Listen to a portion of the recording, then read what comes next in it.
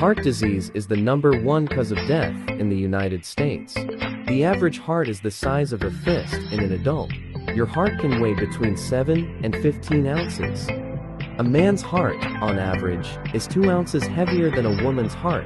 Your heart will beat about 115,000 times each day. A woman's heart beats slightly faster than a man's heart.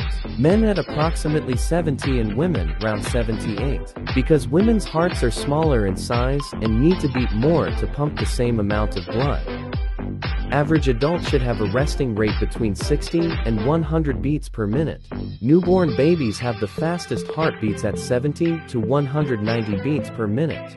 Athletes who regularly train will have a slow resting heart rate of around 40-60 beats per minute. A normal heart pumps approximately 4 tablespoons of blood with each beat.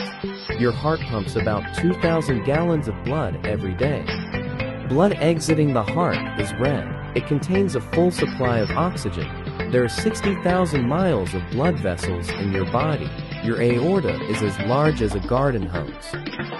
The heart works twice as hard as the leg muscles of the sprinter.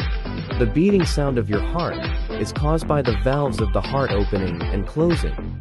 A normal heart valve is about the size of a half dollar.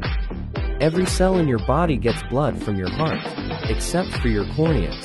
An electrical system controls the rhythm of your heart. It is called the cardiac conduction system. The heart can continue beating even when it is disconnected from the body as long as it has a supply of oxygen. Heart cells stop dividing, which means heart cancer is extremely rare. Laughing is good for your heart. It reduces stress and gives a boost to your immune system.